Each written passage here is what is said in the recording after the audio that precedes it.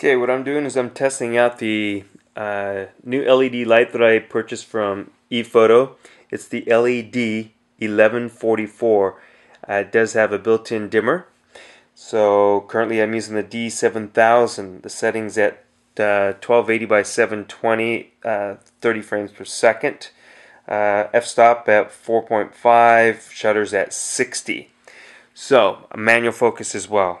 Okay, I'm using the 1755 Nikon 2.8. Here we go. We're at 55 right now.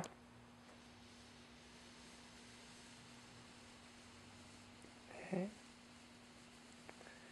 All looks pretty good so far. And we'll zoom back in.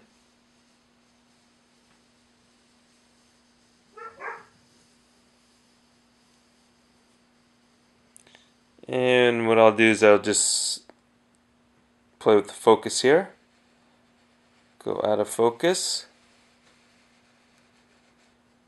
And we'll bring it back in.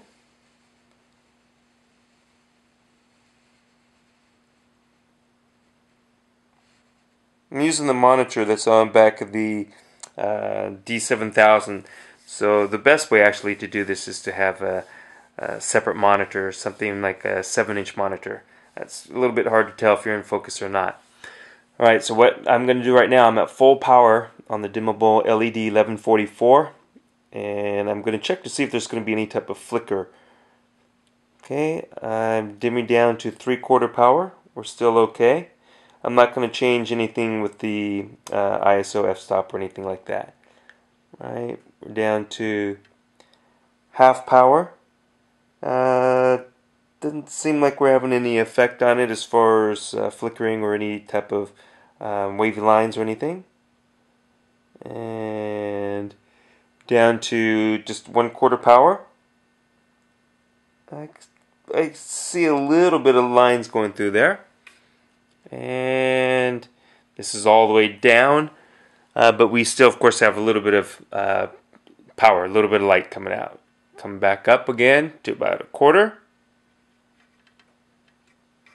Back up to half power. Up to three quarters. And the full power of 1144. That's it for right now. So I'm pretty satisfied with the light now, so this is good. Construction on the LED 1144 is really good. It's $300, $299.99. They packaged it really nice, so uh, check it out. It's good. Thank you.